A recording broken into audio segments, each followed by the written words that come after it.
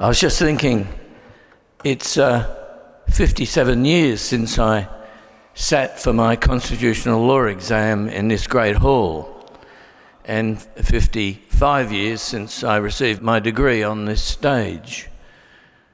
Then I really and truly believed we were building an exemplary country. I truly did, being one of the post war generation, that we were creating a modern democracy. And then my law school, this university, descended into the Vietnam War protests, and life went on. I've just peeled away every point I was going to make tonight as our wonderful speakers gave their addresses, and in fact, like Dean Yates, actually gave admissible evidence. Quite a few of the speakers tonight would make witnesses, and that's what the Belmarsh Tribunal is about. It's a wonderful idea. And It's very clear to me that Julian is not a prisoner facing genuine judicial process. He is not.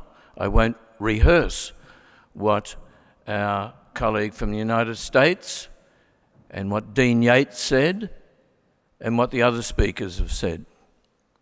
It's clear that Julian, in fact, fits precisely what I've been contemplating for the last few months is the international definition of a hostage.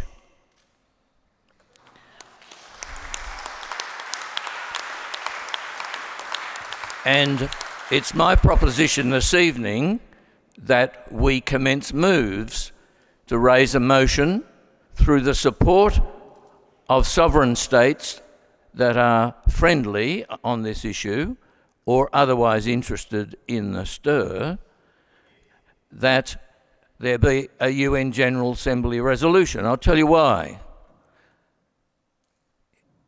In December 1979, the United States moved the United Nations General Assembly to support the then draft international convention against the taking of hostages with very unusual alacrity, the United States government signed the treaty, the International Convention Against the Taking of Hostages, two days after it was tabled in New York.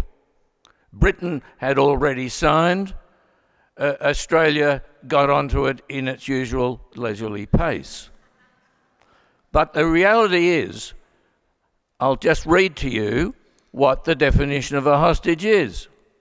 Article 1 of that treaty, pressed and now signed by 176 nations, quite a number of whom who should support a, a motion in relation to it, makes it an international criminal offence to seize and detain a person under any legal ruse and read legal ruse about the sort of deceitful indictments when the objective is to compel a third party, be it a state, a non government organisation, a judicial body, or, quote, a group of persons, read WikiLeaks, to do an act or abstain or refrain by explicit or implicit condition.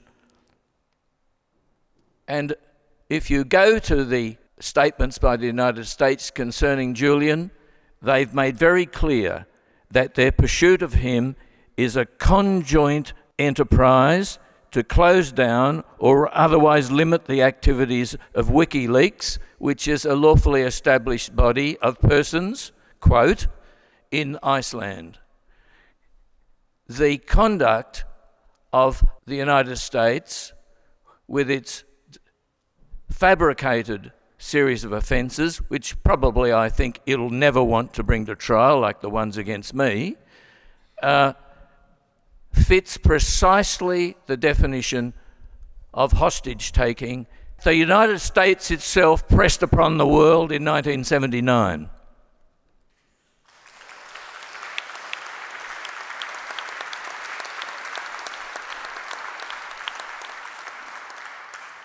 And I want to call this evening for Ambassador Kennedy in Canberra to ensure that the transcript of the proceedings tonight, the relevant aspects, are transmitted direct to President Biden, particularly before his visit, so that the United States can consider whether, if we all resolve and ask interested states to agitate at the United Nations General Assembly to hold the United States to account for hostage taking.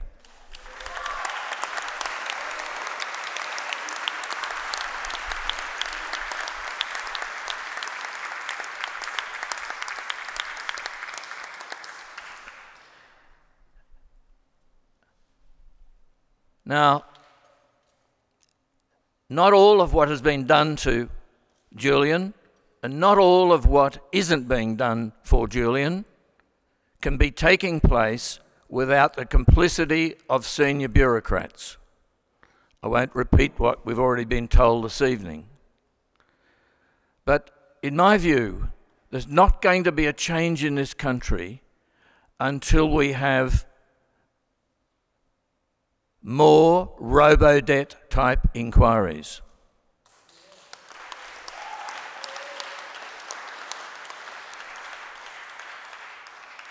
The persecution of witness K was profound, awful, and silent, and stealthy, and still stealthy.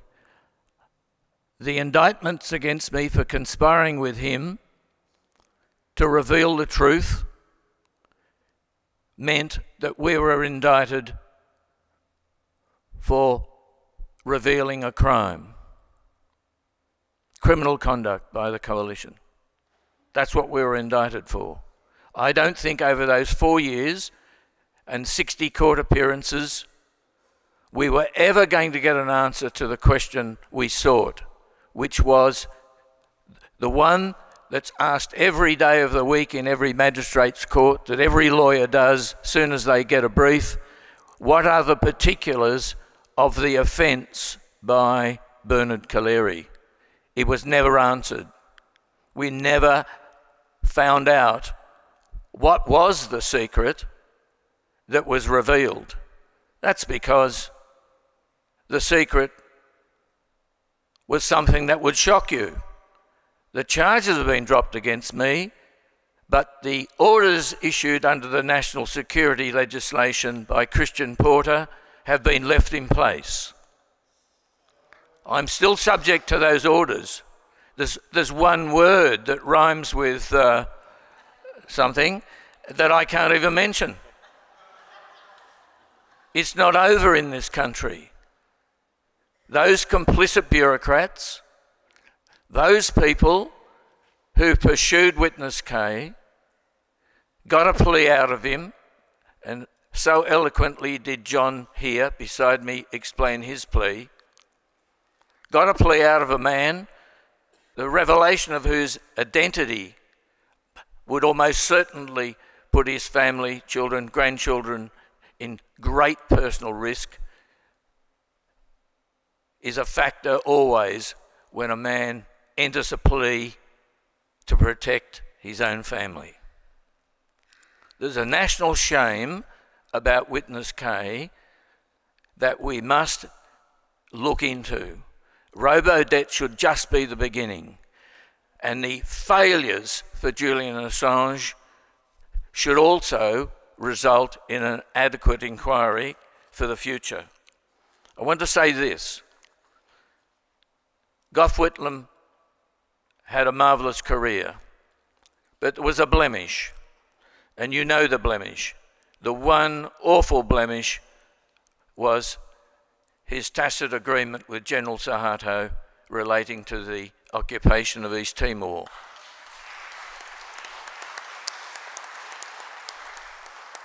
I want to say, uh, as a grey old man, to Anthony Albanese, still in his prime, don't leave an awful blemish on your legacy. Get Julian out of that place soon, or if he perishes, you will live with a terrible legacy. Thank you.